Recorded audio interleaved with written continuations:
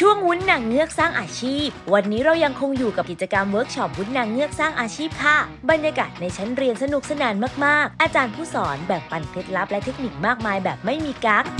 วุ้นที่เราเลือกใช้คือวุ้นตรานางเงือกที่อาจารย์ใช้จะเป็น AA เราก็จะมีส่วนผสมของแป้งข้าวโพดละลายน้ำเพราะว่าไม่ใส่แป้งข้าวโพดจะเกิดการแยกชั้น ใครที่อยากได้สูตร และดูวิธีทำวุ้นกะทิน้ำหวานแบบเต็มๆตามไปดูได้ที่ YouTube ช่องยิ่งศักดิ์ฟู้ดนะคะ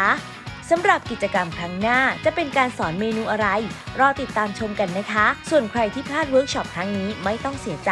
เพราะกิจกรรมดีๆ กับวุ้นนางเงือกสร้างอาชีพ จัดประจำทุกเดือน ใครสนใจติดตามข่าวสารกันได้ที่แฟนเพจ Facebook อาจารย์ยิ่งศักดิ์โซเชียลมีเดียยิ่งศักดิ์ฟู้ดทุกช่องทาง เพราะวุ้นนางเงือกสนับสนุนคนไทย เรียนจริง รู้จริง ประกอบอาชีพได้จริงค่ะ สนุกค่ะ ได้ความรู้ได้เทคนิคจากอาจารย์ แล้วก็คุณภาพของวุ้นที่ทำเนี่ยทำง่าย ก็ที่ได้ไปเรียนครั้งนี้เป็นการเรียนฟรีแล้วก็